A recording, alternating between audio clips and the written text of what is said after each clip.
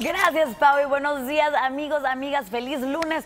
Así es, como les decía Elba, precisamente Adri y yo corrimos ayer, no nos podemos ni mover, así que por favor no juzguen mi falta de gracia al hablar el día de hoy. Les cuento que por fin ayer por la noche se estrenó la serie autobiográfica de Luis Miguel.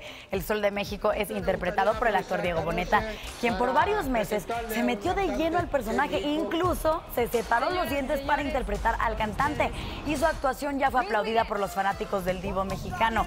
En esta serie se podrá conocer sobre la desaparición de su madre, si Luisito Rey es su verdadero padre, sus relaciones amorosas y con sus hijos, sobre todo con su hija, la blogger Michelle Salas.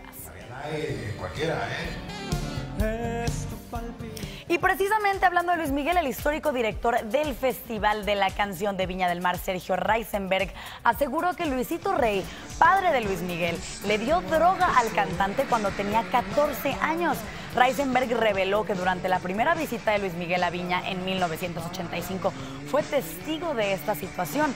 Detalló que su padre le daba cocaína al niño de 14 años para estimularlo antes de subir al escenario. Imagen Noticias con Paco Sea, lunes a viernes 5.50 AM. Participa en Imagen Televisión.